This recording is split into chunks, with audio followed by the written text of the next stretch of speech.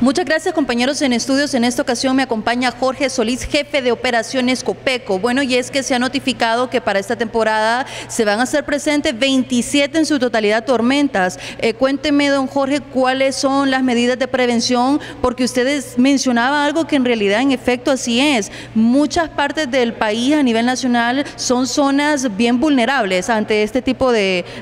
situaciones. Sí, efectivamente, esa de las 27 tormentas, pues lógicamente eh, son los científicos de la NOAA, ¿verdad?, en Estados Unidos que han visto pues que este año va a tener bastante actividad, tanto el Atlántico como el Pacífico, y es por eso pues de que con todas las lluvias que hemos estado percibiendo en el territorio nacional, pues también nos ha, y la vulnerabilidad con la que, cuenta el país, pues lógicamente esto es motivo de preocupación del, presidente de la República y del ministro comisionado Lisandro Rosales, y es por ello que se ha venido preparando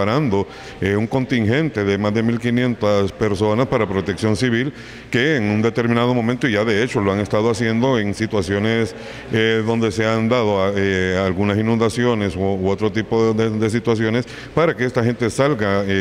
pues a, poder apoyar a lo que es a la población que ha salido afectada por ello. ¿El país en realidad está preparado para todo este tipo de situaciones que pueda llegarse a presentar un huracán debido a tanta tormenta? En el problema que tenemos es que somos un país extremadamente vulnerable y no solamente por el MIS, sino por todo lo que nosotros como pobladores le hemos hecho, eh, tanto pues eh, tragantes obstruidos y también eh, la quema y la tal misericordia de los bosques ha hecho que este país se, se vuelva todavía más vulnerable. la población ha sido capacitada a través de los comités de emergencia municipal, comité de emergencia local, se está trabajando a nivel nacional en la conformación de, algunos comités de manera local, pero sí, y eh, se, les ha estado dando bastante inducción al respecto, los tenemos eh, bien conformados y esto es con los líderes eh, locales de cada una de las comunidades y lógicamente personal de COPECO a nivel nacional que está siempre entrenando y siempre está capacitándose para poder darle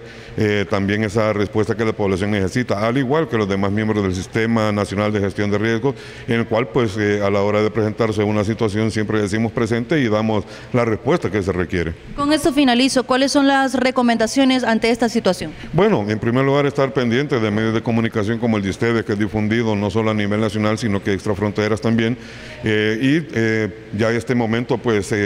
decirle de que ante cualquier anuncio, ya sea de, una emisión de un boletín informativo, una alerta ya sea verde, amarilla o roja, estar pendientes de este medio de comunicación. Por otro lado, a la población eh, que vive en la ribera de los ríos, que estén pendientes del monitoreo constante de ellos, puesto que si miran que hay una crecida, pues que se salgan, busquen lugares seguros y que llamen al Sistema Nacional de Emergencias 911 y se aboquen a las autoridades locales. Personas que viven también o familias que viven en zonas de, alto riesgo a declive, a, a derrumbes, a deslizamientos, que lógicamente estén monitoreando su entorno, que vean si hay alguna pared rajada o el piso o si escuchan sonidos eh, raros, que también eh, evacúen sus viviendas, llamen al Sistema Nacional eh, de Emergencia 911, se aboquen a las autoridades locales también. Las personas que se dedican a dar mantenimiento de las grandes antenas y seguimientos rechados, que se abstengan de ello. Que la gente en sus viviendas que tienen árboles de, de ramas extensas, que este es el tiempo de que lo corten y que también limpien todo lo que es alrededor de sus viviendas, que estén bien organizados y pendientes. Muchas gracias, jefe de operaciones Jorge Solís. Ya escuchó